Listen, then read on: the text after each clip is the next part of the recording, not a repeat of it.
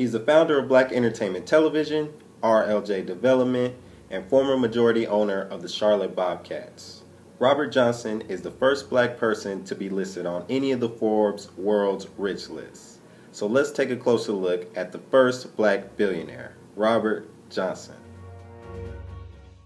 Robert Johnson was born in Hickory, Mississippi, but spent most of his childhood in Illinois.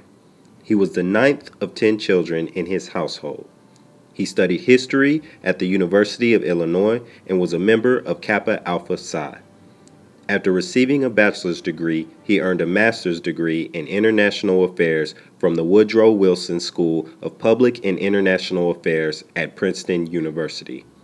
He was married to Sheila Johnson for 33 years and they have two children together. Now it's time for a short break and a Black History fact. Fact number one Hank Aaron broke Babe Ruth's home run record when he hit his 715th home run in 1974.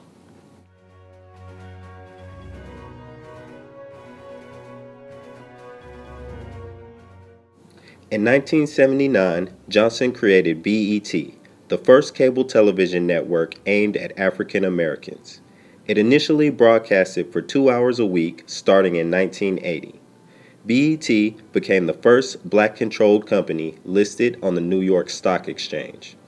In 2003, Viacom bought BET for $3 billion and it was no longer black owned. Before the change of ownership, BET had News and Teen Summit, a talk show dealing with everyday teen issues. In 2005, Deborah Lee replaced Johnson as the president and COO of BET.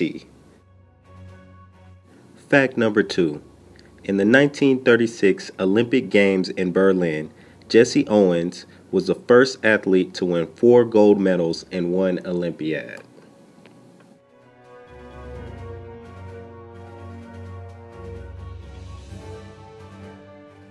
After selling BET, Johnson started the RLJ companies. These companies are involved with financial services, real estate, professional sports, film production, automotive, and gaming industries. These companies target underserved and undiscovered markets. One of the core businesses is the NBA Charlotte Bobcats, of which Johnson is an investor along with Michael Jordan. The film studio company called Our Stories Films produces family friendly feature films like Who's Your Caddy and Jumping the Broom.